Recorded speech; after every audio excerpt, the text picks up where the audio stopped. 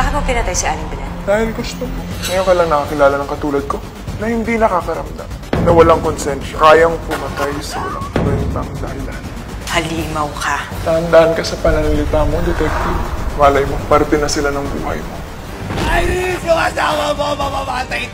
Kailangan ko ng tulong mo. Nahanap ako ni Daniel Villarreal. Napatay niya ako. Walang karapatang mabuhay mga ganong klaseng tao. Tama ka, may mga tao talagang mas mabuti ng patay.